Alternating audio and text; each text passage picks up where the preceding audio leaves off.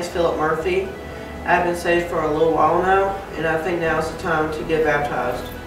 I'd like to thank Pastor Daniel and Brother Seth for everything and getting me to go to Encounter. That's changed my life forever.